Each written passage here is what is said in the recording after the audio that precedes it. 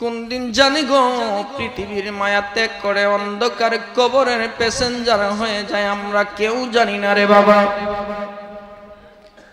আল্লাহ রব্বুল আলামিন যেদিন পৃথিবীর জমিনের মধ্যে পাঠানোর জন্য আমাদেরকে সিলেক্টেড করলেন, যেদিন আমার আল্লাহ মানব কাতারের মধ্যে আমাদের নামটা লিখে দিলেন ওই দিন আমাদের কপালের মধ্যে ফিরিতি একটা টিকিট ধরায়া দিয়েছেন। ওই টিকিট দুনিয়ার জমিনে বাংলাদেশ থেকে পাকিস্তানে যাওয়ার কোনো টিকিট নয়।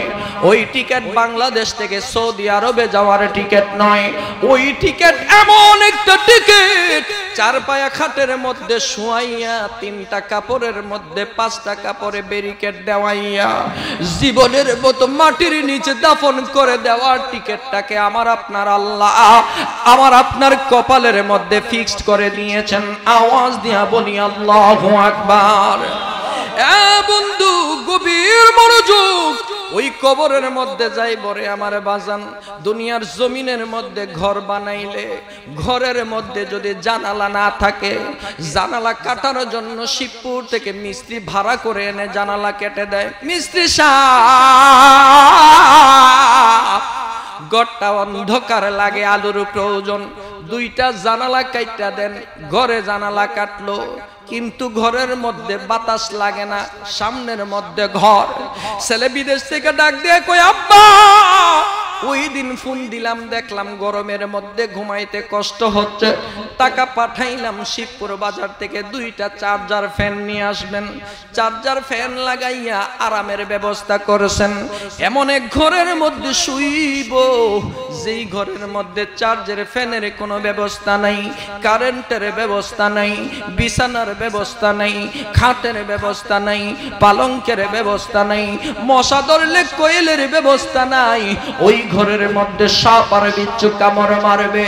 আমার নবী ডাক দিয়ে উম্মত, ওই কবর এমন কবর সেই কবরের মধ্যে যদি পাপি হয় রে, নিরানব্বইটা সাপ কবরের মধ্যে দিয়ে দিব আল্লাহ। একটা সাপ আসমান থেকে জমিন পর্যন্ত, জমিনের মধ্যে থাকব মাথাটা, লেজটা থাকব আসমানের মধ্যে। আসমান থেকে জমিনের মধ্যে এত বড় লম্বা। নবী আমার ডাক দিয়া কয়, সাপের দাঁতগুলো এত বিশাল এত বিশাল সাপ, যেই দাঁতগুলো থাকবে আগুনের নখ নখগুলো থাকবে আগুনের, এমন থাবা মারবো, আল্লাহর হাবিব পরবান সর্বনিম্ন সত্তর গজ মানে একশত চল্লিশ হাত মাটির নিচে একশো বলে ডেবে যাবে। আওয়াজ দিয়া বলি, আল্লাহ আকবার। সংসার সংসার কইরা ভবে গো। বাজান করলাম না বন্দিগি।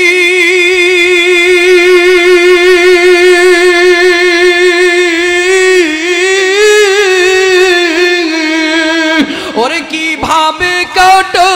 আইব বহলো রে। কবরের জিন্দিগি রে। ওহরে জীবন গনাই গনাই গেল রে। ওরে জীবন গনাই গনাই গেল রে। বন্ধু, গল্লা বয়স কত? বিশ বছর হয়ে গেছে, বাইশ বছর, পঁচিশ বছর হয়ে গেছে। নবী আমার ডাক দিয়া কই উম্মত এইভাবে গণ্য না, বরং বলো বরং গণনা করো। জীবনে যতদিন বাস্তাব জীবন থেকে তোমার বাইশটা, জীবন বাইশটা বছর হারায়া গেছে। পৃথিবীর জমিনের মধ্যে টাকা হারাইলে টাকা পাওয়া যায়। সম্পদ হারাইলে সম্পদ পাওয়া যায়। জীবন থেকে একটা সেকেন্ড গেলে এই জীবনটা কোনোদিন ফিরে পাওয়া যায় না। কতক্ষণ ঠিক কিনা? কি কবরের মধ্যে যাব। আমার নবী রাহমাতুল্লিল আলামিন উম্মতদেরকে শিক্ষা দেওয়ার জন্য আমার আল্লাহ রব্বুল আলামিন কুরআনুল হাকিমের মধ্যে পড়েন, বল আমার সাথে বলেন, বিসমিল্লাহির রহমানির রহিম।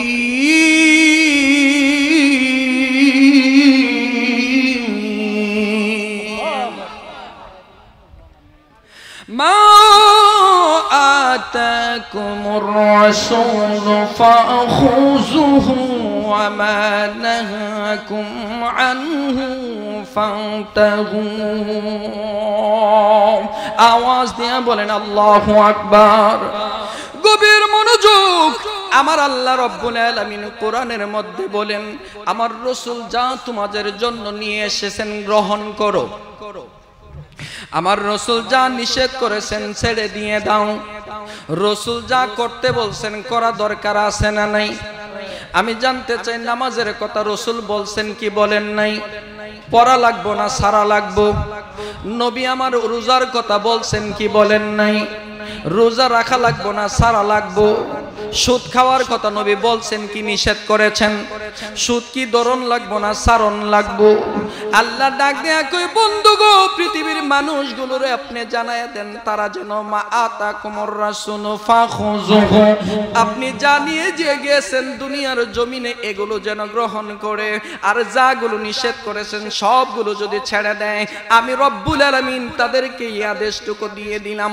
বন্ধু, যদি আল্লাহর হাবিবকে মানার মতো মানতে পারবেন, ভালোবাসার মতো ভালোবাসতে পারবেন, রসুলের আদর্শ যদি জীবনে বাস্তবায়ন করতে পারবেন, জানার চাইতে বেশি যদি মদিনাওয়ালাকে অন্তরের মধ্যে ঠান দিবেন, খোদার কসম, কবরের মধ্যে যাইবেন, ইসলামপুরের কবরস্থানে শোয়ানোর আগে অন্ধকার কবরের মধ্যে আপনারে যখন শোয়াইব, অন্ধকার কবরের মধ্যে মানুষগুলো রাখব, মিনহা খালাকনাকুম, ওয়া ফিহা নুইদুকুম ওয়া মিনহা নুখরিজুকুম বলার আগে, বিসমিল্লাহি ওয়া আলা মিল্লাতি রাসূলিল্লাহ, বিসমিল্লাহি ওয়া আলা মিল্লাতি রাসূলিল্লাহ বইলা যখন কবরে নামাইব, আমি আর আপনি দেখব কবরের মধ্যে বন্ধু নাই, আমি আর আপনি দেখব কবরের মধ্যে বান্ধব নাই, আমি আপনি দেখব দুনিয়ার জমিনের কোনো মানুষ কবরে নাইমা কেউ থাকে না কবরের মধ্যে, আমার আল্লাহ রাব্বুল আলামিনের গোলাম যদি হতে পারো রে, খোদার জাতের কসম,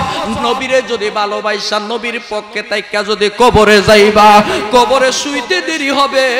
তোমার লাশটা কবরে মাটিতে শোয়ানোর আগে আমার মদিনাওয়ালা আইসা তোমার লাশটারে বুকের মধ্যে টান দিয়া নিয়া নিবে। বন্ধু,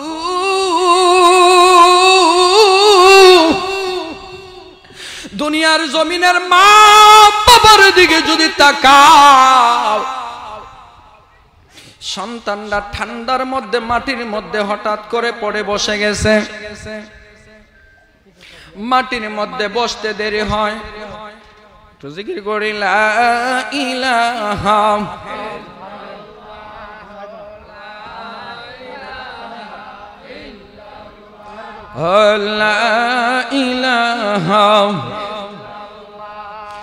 লা ইলাহা لا إله لا إله لا إله إلا الله محمد رسول الله صلى الله عليه وآله وسلم. اللهم ربي صل وسلم وبارك عليه منجك.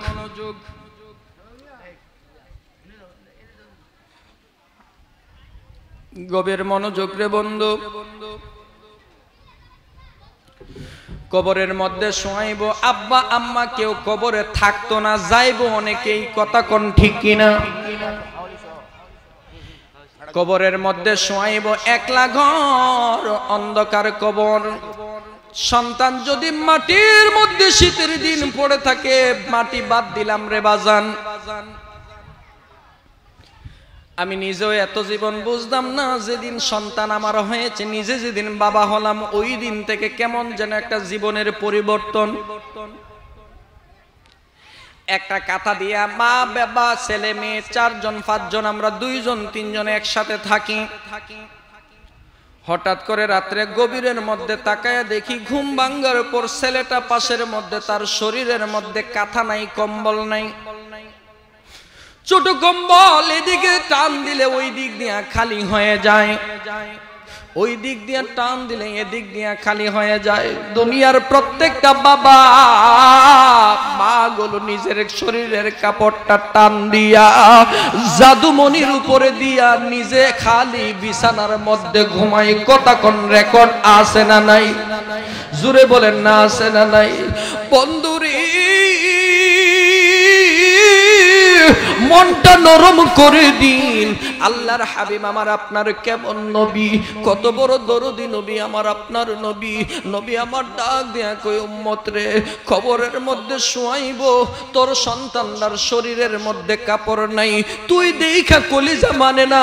তোর সন্তানের কাপড় দেওয়ার জন্য নিজের কাঁথাটা দিয়া দেশ নিজের কম্বলটা দিয়া, লুঙ্গিটা দিয়া, তোর শাড়িটা দিয়া, তোর বিভিন্ন ধরনের কাপড়টা দিয়া নিজে জড়াইয়া পরে তাকুস সন্তান সুখে তাকার জন্য যদি বাবা মার তোর এত মায়া হয়, তুই জানোস নি, আমি রহমাতুল্লিল আলামিন উম্মতের জন্য কত মায়া। ও বন্ধু, মাগরিবের নামাজের পর আর ইসলামপুরের জমিনে মাহফিল এই জন্য একটা কিতাব নিয়ে বসলাম, আল মাওয়াহিবুল্লাহ দুনিয়া। আল্লামা কাস্তালানি রহমাতুল্লাহ আলাইহির চার খণ্ডে বিভক্ত। প্রথম খণ্ড, দ্বিতীয় খণ্ডটা একটু লইলাম, একটু দেখে গিয়ে ওয়াজ করলে মন্ডার মধ্যে শান্তি লাগে। ভুল ওয়াজের সম্ভাবনা কম। আল্লাহর হাবিব রাহমাতুল্লিল জীবনী গ্রন্থ মাওয়াহিবুল্লাহ দুনিয়া কিতাবটা লইলাম। লয়া যখন তাকায় দেখি উহুদের জমিনের ঘটনাটা সামনে চলে আসলো। আমার আপনার নবী রহমাতুল্লিল আলামিন উহুদের জমিনের মধ্যে সাহাবায়ে কেরামগণ তাকায় চতুর্দিক দিয়ে ব্যারিকেড দিয়ে ফেলেছে কাফের বেঈমানগুলো। আমার নবী রহমাতুল্লিল আলামিন মাঝখানের মধ্যে পড়ে গেছেন। আমার নবীকে চতুর্দিক থেকে পাথর মারা শুরু করলেন, নবীজির উপরে তীর মারা শুরু করলেন। আল্লাহর হাবিব ডাক দিয়া কই, সাহাবীরা রে, কে আছো তোমরা আমার সামনে দাঁড়াইবা? আজকের বিপদের মধ্যে আমার কে এই জায়গায় সহযোগিতা করবা? আল্লাহর হাবিব বলতে দেরি হয়। সাহাবায়ে কেরামগণ সামনে বুকটা দিয়া দাঁড়াইয়া গেলেন। আমার নবী ডাক দিয়া কই, কে আছো? হযরতে তামিয়ার জমিনের আসামি না, তোমরা তারে আটকায়া রাখো। আব্দুর রহমান জামির কাছে আরবের তৎকালীন বাদশা রওনা হইলেন।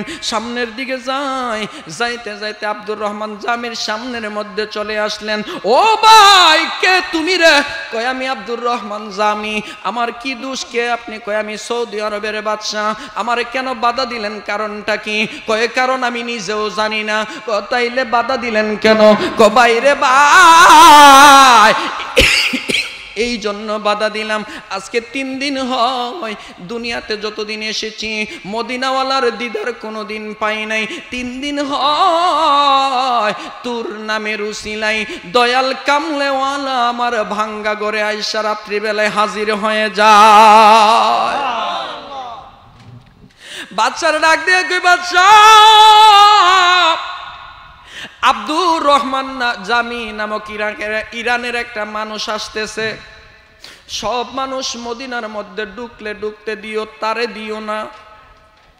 নবীরে আমি জিগাইলাম, কেন নবী কই এইটা এখন বলব না, আসতে দিও না।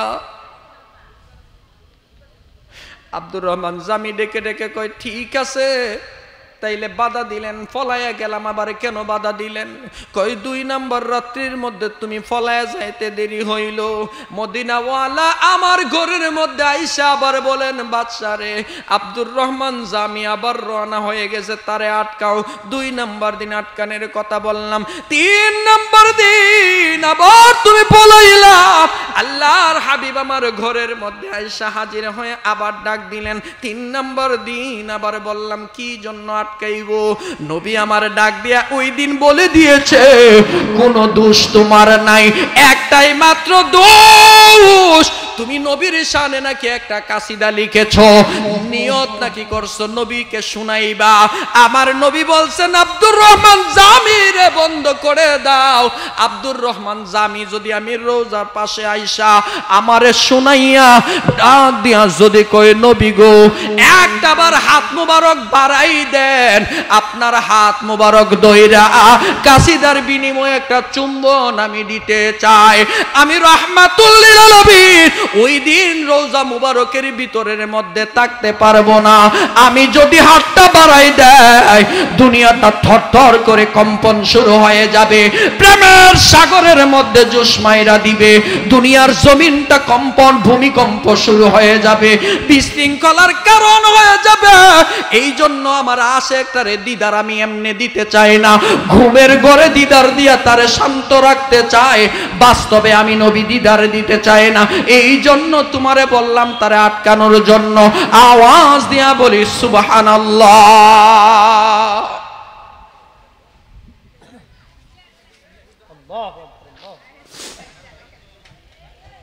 মায়েরা একটু কথা বললেন না।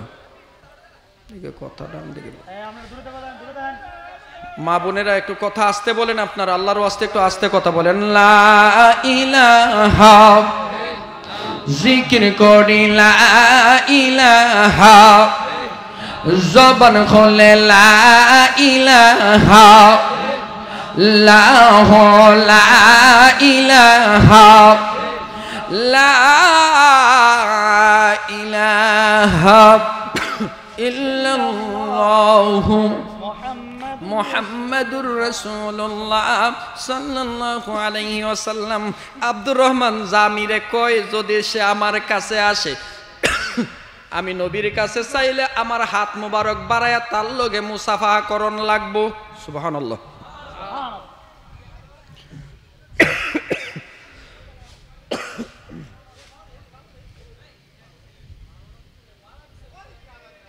একটা আরবি কাসিদার কিতাব আছে কাসিদায়ে বুরদা। কাসিদায়ে বুরদা শরীফ যিনি লিখেছেন আল্লামা ইমাম আব্দুর ইমাম বুসিরি ইমাম শরফুদ্দিন বুসিরি রহমাতুল্লাহ আলাই কাসিদাটা লেখছেন। তিনিও ছিলেন পক্ষাগ্রাসগ্রস্ত। প্যারালাইসিসের অবস্থা। আমরা সমাজে অনেকের প্যারালাইসিস হয়নিও। যারা প্যারালাইসিস একবারে বেশি এরা তো আইটা ইসলামপুর থেকে শিবপুর বাজারে যাইতে পারে নাকি? পারে কি না শরফুদ্দিন বুসিরি ছিলেন সবচেয়ে বড় কবি। প্রতিদিন কবিতা লিখতেন। আমাদের বাংলাদেশের জাতীয় কবি কাজী নজরুল আছে না নাই? কথা কন্যা আছে না নাই? ইনি যেমন প্রেমের কবি তিনি তিন- তিনি আবার ছিলেন বিদ্রোহী কবি। তিনি এমনি ছিলেন বাংলাদেশের যেমন জাতীয় কবি তিনি হয়েছেন। একক যোগ্যতা বলে হয় নাই এমন কোন সাইট নাই যে সাইটটার মধ্যে তার দখল ছিল না। সুহান আল্লাহ বলেন ওই মদিনাওয়ালার জন্য লিখেছেন আমি যদি আরব হতাম মদিনারি পথ আল্লাহ আকবার। শরফুদ্দিন বসিরি প্রতিদিন কাসিদা লেখেন কবিতা লেখেন।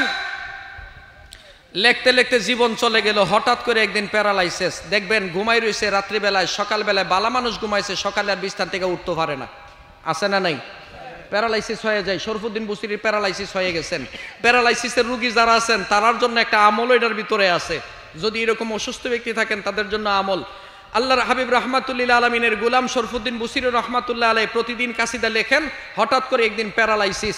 প্যারালাইসিস হয়েছেন যে ওনার বাড়িটা হচ্ছে সাগর পাড়ের মধ্যে, নদীর পার পদ্মা নদীর ভাঙ্গন। গত কয়েক বছর আগে আমি এদিকে রায়পুরা থানা পড়ছেন, এটা মির্জাসর একটা গ্রাম আছে, অনেকেই চিনেন। মির্জাসরের দক্ষিণ পাশে একটা গ্রাম, মির্জাসরের অংশ, এটার নাম হলো ইসলামপুর। ওইখানে মাহফিলে গেলাম। ইসলামপুর যখন মাহফিলে নেয়, আমি আবার বলছিলাম যে, ভাই, আমার রাত্রিবেলা নিয়ে যাইতে হইব আবার রাত্রিবেলা নদীর এই পারে পার করে দেওয়া যাইতে হইব এদিকে একটা গ্রাম আছে, আইতলা সাদেকপুর। সাদেকপুর থেকে আমার নিয়ে গেছে, আবার রাত্রে এনে দিয়ে গেছে। তো এই মেঘনা নদীর ফারিতে বিশাল প্রশস্ত। তো মেঘনা নদীর প্রায় শেষ জায়গার মধ্যে গিয়া দুই চারশো হাত নদীর মাঝখানে। আমারে বলতেছে, হুজুর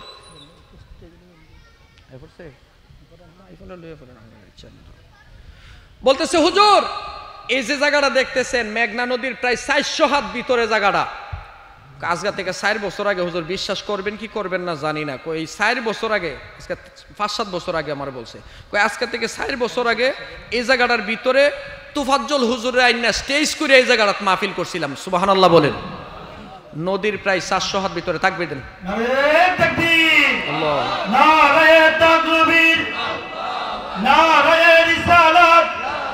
প্রধান বক্তার আগমন। ইসলামপুরের পক্ষ থেকে মাহফিল কমিটির পক্ষ থেকে পীর মুফতি মনিরুল ইসলাম। মোহাম্মদ মুরাদুল ইসলাম চৌধুরী মুরাদ সাহেবের আগমন। মাহফিলের পক্ষ থেকে মাহফিলের পক্ষ থেকে মুফতি মুরুল ইসলাম চৌধুরী মুরাদ সাহেবের আলহামদুলিল্লাহ। আমাদের প্রধান বক্তা, প্রধান মেহমান, ইনশাআল্লাহ আমাদের মাহফিলে এসে উপস্থিত হয়ে গিয়েছেন। যারা এখনও রাস্তাঘাটে দোকানপাটে বসে আছেন, মেহরবানি করে মাহফিলে চলে আসুন। আমরা সবাই বলি মার হবা আরও আওয়াজ দিয়ে বলি মার হবা বাবার, আমার ভাইয়ের, আমার, আমি তো এলাকার মানুষ, আমাদের আকাঙ্ক্ষিত, কাঙ্ক্ষিত, আমাদের আজকের মাহফিলের যিনি মধ্যমণি, তিনি আজকে আমাদের মাঝে এসেছেন, আমরা খুশি না বেজার? আওয়াজ দিয়ে বলি খুশি না বেজার? তাইলে এখনও যারা দেখছি যে ঘোরাফেরা করতেছেন, দয়া করে মাহফিলে চলে আসুন। সবাই বলি মার হবা আর আওয়াজ দিয়ে বলি মার হবা বন্ধুরা, আমার শেষ করে দিচ্ছি যেহেতু আমি বলছি না, এটার ভিতরে একটা প্যারালাইসিস রুগীদের আমল আছে। প্যারালাইসিস রুগীদের জন্য এটার ভিতরে একটা ঔষধ আছে, এই জন্য কথাটা বলতে হচ্ছে আনালে শেষ করে দিতাম। আল্লামা শরফুদ্দিন বুসির রহমাতুল্লাহ প্যারালাইসিসে আক্রান্ত, যেই কথাটা বলতেছিলাম, আমারে বলতেছে, হুজুর, আপনি বিশ্বাস করবেন কিনা? আজকে থেকে চার বছর আগে এই জায়গাটার ভিতরে এ থেকে চারশো হাত দূরে হইল মেঘনা নদীর পার। চারশো হাত নদীর ভিতরে আমার বলতেছে, আজকে থেকে চার বছর আগে এই জায়গাটার মধ্যে তুফাজ্জুল হুজুর আইনা স্টেজ করে মাহফিল করছি। চার বছরের ব্যবধানে প্রায় চারশো হাত ভিতরে চলে গেছে, ভাইঙ্গা। আল্লাহ একবার বলেন। ইমাম শরফুদ্দিন বুসির রহমাতুল্লাহ আলাই প্যারালাইসিসের রুগী হয়ে গেলেন। মনে মনে চিন্তা করলেন, নদীর পাড়ের মধ্যে সেবা যত্ন করার মতো, কারণ প্যারালাইসিসের রুগী যারা হয়, হাত পা অবশ। প্রস্রাব পায়খানাটাও ঠিক মতো করতে, ঠিক কিনা বলেন? প্রস্রাব পায়খানাও তো করতে পারে না। ওনার শারীরিক প্রয়োজন পূরণ করবেন, এটাও সম্ভব হয় না। উনি বলতেছেন, টেনশনে পড়ে গেলাম, কি করব? বিবি ছিল, বিবি আমারে কই তোমার মতো এই বুড়া বয়সের বেড়ারে আর জীবনে সেবা কই দিন করাম? জীবনে বালাও হইতা না। তোমার সেবা করে আর আমার জীবন শেষ করে লাভ নাই। তোমার ফতে তুমি থাকো, আমার ফতে আমি চলে যাই। নাউজুবিল্লাহ বলেন।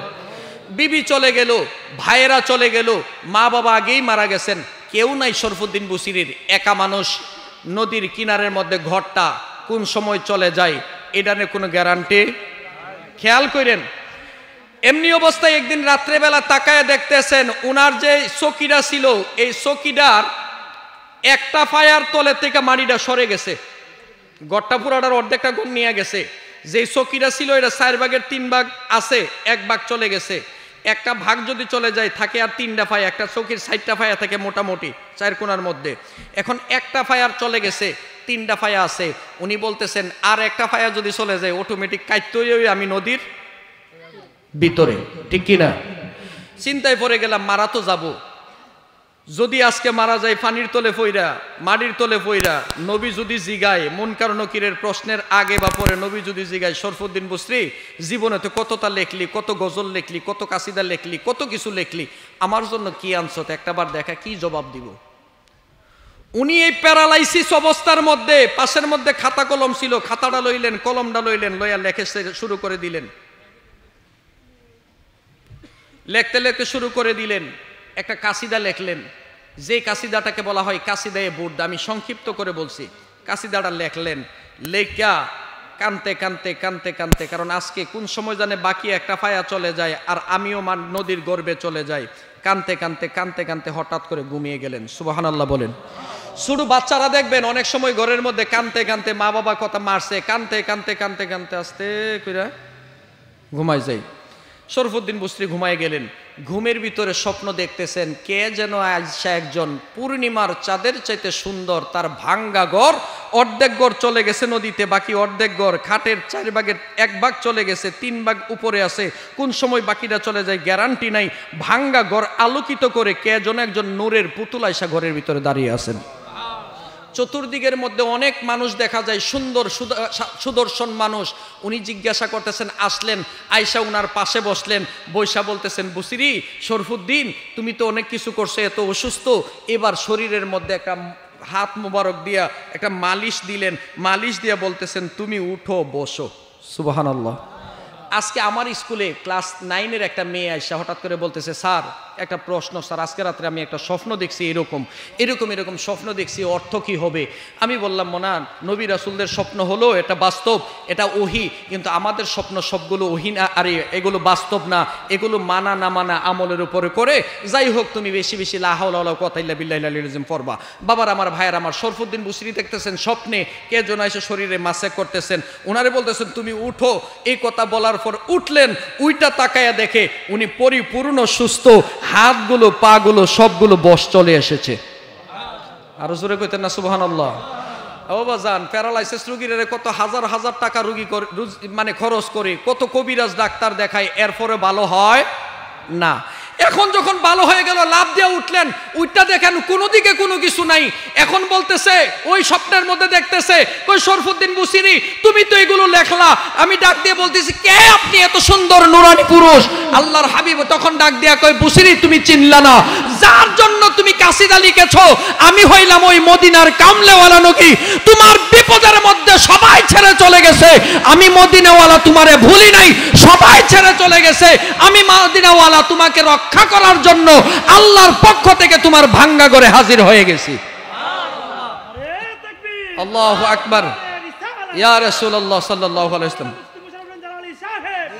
বাবা, সময় কম। বাবার আমার, ভাইয়ের আমার, আমি এসে গেছি। শরফুদ্দিন বুসিরিরে বলতেছে, নবী গো, আমি আপনার জন্য লেখলাম, আপনি আমার কি করলেন? নবী আমার ডাক দেয়া কই বুসিরি, তুমি চিন্তা করিও না, তোমার যে এইরকম আমার কাছে লেখছো, আমি তোমার একটা প্রেজেন্টেশন দিয়ে গেলাম। কই কি এই আমার একখানা জুব্বা মানে একজন চাদর মোবারক আছে, এই চাদর মোবারকটা রং ছিল সবুজ, এই সবুজ চাদরটা তোমারে দিয়ে গেলাম, এটা তুমি পরিও। দিয়ে ওনার ঘুম ভেঙে গেল। তাকায় দেখেন, ঘরের মধ্যে নবী নাই, কিন্তু ঘরে যদিও নবী নাই, সুগন্ধের দ্বারায় গড়টা আলোকিত, মুখরিত হয়ে আছেন। পাশের মধ্যে তাকাইলেন, পাশের মধ্যে তাকাইয়া দেখেন এই সবুজ চাদর মোবারক পাশের মধ্যে রাখা। আল্লাহর হাবিব রাহমাতুল্লিল আলমিনের সবুজ চাদর মুবারকটা লইলেন, শরীরে জড়াইয়া দিলেন, দিয়ে বলতেছেন, আমি এই জায়গার মধ্যে যখন গায়ের মধ্যে দিলাম, আল্লাহর হাবিবের শরীর মুবারকের ঘ্রাণ আমার নাকে আসতে লাগল। আমি ভালো হয়ে গেলাম, আমি ভালো হয়ে গেলাম, শুধু ভালো হয় নাই। ও বাবা, শহীদ নুরুল ইসলাম ফারুকির কাফেলা অনুষ্ঠান আছে। আপনার ওই কাফেলা অনুষ্ঠানে থাকলে দেখলে একটা পর্ব আছে ওনার। আমার পর্বটার কথা নামটা মনে নেই। আমি নিজে দেখেছিলাম, শহীদ আল্লাহ নুরুল ইসলাম ফারুকি রহমাতুল্লাহ বলেন, ওরে দুনিয়ার মানুষ, আমি দুনিয়ার জমিনের মধ্যে আজকে থেকে ইমাম বুসুরি চলে গেছেন, প্রায় হাজার বছর হয়ে গেছে। ওই সাগরের মাঝখানের মধ্যে, যেই জায়গাটার মধ্যে ছিল, চতুর্দিকের মধ্যে সাগর হয়ে গেছে। যেই জায়গাটার মধ্যে চকিটা ছিল, আমার নবী যেখানে এসে দিদার দিছেন, এই জায়গাটা এখনও পর্যন্ত ওই সাগরের মাঝখানে বাসানো অবস্থায়। আরও জোরে বলেন সুবাহান আল্লাহ তো বাবার আমার, ভাইয়ের আমার আমার নবী রাহমাতুল্লিল আলমিন যদি স্বপ্নে দেখা দিলে, স্বপ্নে আয়সা দেখা দিলে, যদি চাদর দিলে, সাদর বাস্তবে পাওয়া যায়, উম্মত মারা গেলে, আমার নবী যদি কবরে আয়সা বলতে, ও উম্মত, পৃথিবীর সবাই চলে গেছে, আমি নবী তোরে ভুলি নাই, আমি তোরে কুলে নেওয়ার জন্য এসেছি, আমার নবী ওই কবরে আসার ক্ষমতা আছে না নাই? আওয়াজ দিয়ে বলেন আছে না নাই। এটা ইমানদারের বিশ্বাস বেঈমানের বিশ্বাস নয় বেঈমান তো তাদের কথা বলবেন দূরের কথা এরা তো এই কথা বলে আল্লাহ তাআলা ने झूठ बोल सकता है কই আমার আল্লাহ মিছা কথা বলতে পারে জুরে কন্যা নাউজুবিল্লাহ কই নবীর জ্ঞান তো এতটুকু আছে যতটুকু পাগলের আছে নাবালেক শিশুর আছে নবী উদ্দুরি জানে এর বাইরে কিছু জানে না দেওয়ালের পিছনে কি আছে এটার খবর নবী নাই জুরে কইতেন না নাউজুবিল্লাহ আর আমরা বলি, আমার আল্লাহ, আল্লাহর প্রদত্ত ক্ষমতা বলে আল্লাহর সমস্ত গায়েবের ভান্ডারে এলেমের ভান্ডার জগতের যত সৃষ্টি জাহান আছে, ইন্না আতয়না কাল কাউসার। আমার আল্লাহ কয়, আমার যত নিয়ামত আছে, সকল নিয়ামত আপনার কুদরতের হাতের মধ্যে আমি আল্লাহ সপে দিয়ে দিলাম। আরও জোরে বলেন সুবাহান আল্লাহ ওই নবীর পক্ষে থাকার দরকার আছে না নাই? আরও জোরে বলেন, আছে না নাই? তো নবীর উম্মত যারা আছে, আমরা বড় দামি মানুষ। ঠিক কিনা? আমরা বড় দামি মানুষ ইহুদিন আসারা বেঈমান, নাস্তিক যত আছে, সবার থেকে নবীর উম্মতের দাম কম না বেশি। এই জন্য দামি মানুষকে চলতে হবে দাম নিয়ে, চলতে হবে, কথা বলতে হবে দাম নিয়ে। আমরা যা কিছু একটা কথা মনে রাখেন, আমরা যারা আছি, আমরা তো নর্মাল মানুষ। আলহামদুলিল্লাহ, আমাদের মুরাদ ভাই, আমাদের সুন্নিয়তের গর্ব। আমাদের চাইতে ওনাদের ওজনটা একটু বেশি। ঠিক কিনা? আমাদের যদ্দুর ওজন আছে ফিসা বুজুর ওজন আরও আলহামদুলিল্লাহ বেশি। সুতরাং আমি যদি একটা কথা কই, আমার কথাটারে এত মানুষ গুরুত্ব দিবে না যতটুকু মুরাদ ভাইয়ের কথাটারে গুরুত্ব দিবে। মুরাদ ভাইয়ের কথাটারে এত গুরুত্ব হবে না ফিসা বুজুরের কথাটুকু যতটুকু গুরুত্ব হবে, কারণ তিনি মাসিহাতা দরবার শরীফের ফিসা বুজুর মুরাদ ভাই যদিও মাসিহাতা দরবার শরীফের খলিফা, তারপরেও মাসিহাতা দরবারকে আমরা আলাদা একটা আউলাদের রাসুলের দরবার হিসাবে শ্রদ্ধা করি। এই জন্য ব্যক্তি যত বড়, তার কথার মূল্যায়ন তত বড়। এই জন্য আমরা যারা আছি, প্রত্যেকে আমাদের অবস্থান থেকে আমাদের চিন্তা করতে হবে। আমাদের অবস্থানে থেকে আমাদের কথাবার্তা বলতে হবে। এমন কোনো কাজ আমরা করব না। আমার অবস্থানটা নষ্ট হয়ে যায়। আমার অবস্থান নষ্ট হওয়া যান বড় কথা না, গোটা শূন্যতের অবস্থান নষ্ট হয়ে যাবে। ঠিক কিনা বলেন? আল্লাহ আমাদেরকে সকলকে আমাদের অবস্থানটা ধরে রাখার মতো আল্লাহ আমাদের তৌফিক দান করুক। আমরা অনেক সময় ভুল করে ফেলি বাজান। ভুল হয়ে যায় আমাদের দ্বারা। এই ভুলগুলো আপনারা আমাদের সংশোধন করে দিবেন। আমরা সংশোধন হয়ে চলবো। আল্লাহ আমাদেরকে সকলকে সংশোধনের মধ্যে জীবনযাপন করার তৌফিক দান করুক। সকলে বলি আমিন। ভাইকে কষ্ট দিলাম।